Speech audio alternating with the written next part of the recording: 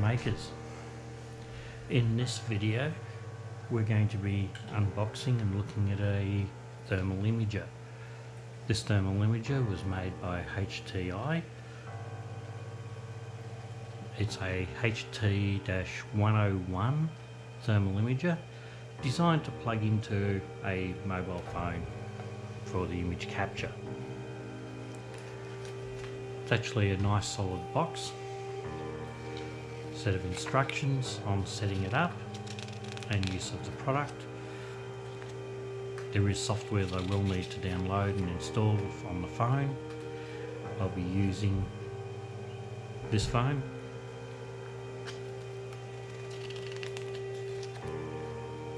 And I will uh, endeavour to upload a copy of the instructions inside the box, take off the protective coating, and we find the thermal imager designed to mount on the bottom of the phone. This one is USB-C. Unfortunately my phone only has a micro USB. Also in the box is what looks like a case to store it in which is difficult to get out. And there's nothing else in the box. What we got? It's got a nice rubber seal around the outside. Something else in here. Nice cutout to hold the camera. And this is a USB-C to micro USB adapter. One thing about um, USB-C is you can plug it in either way.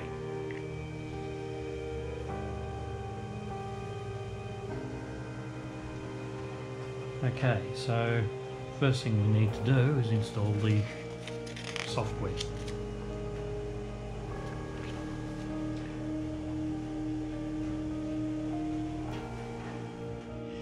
Okay, so after much trial and error, I finally got this to work. So as you can see, you can see my hand. When I take my hand away from the table where I had it, you can see it's left an after image. Some of the things we can turn on include min and max, and also the temperature and the target. We can also change the colour scheme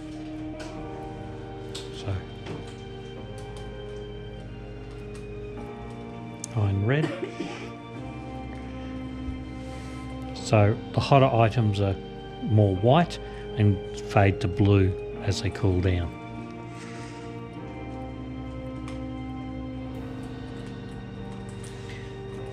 Emissivity is how much heat, how much reflected heat there is coming out of everywhere else.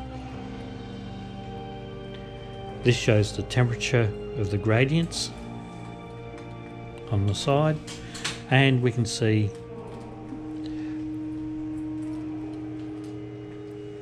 uh, both the the real camera visible light camera and the thermal imaging.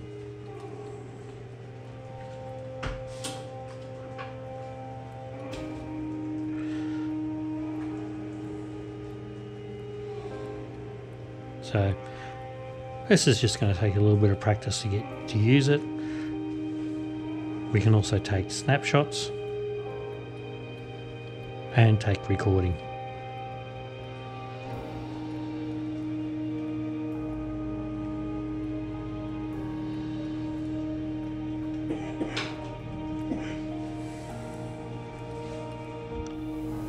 I hope you enjoyed this video. If you did, please click subscribe and like. And don't forget to tick the notification bell. Google believes you'll enjoy these other videos and we'll see you on the next video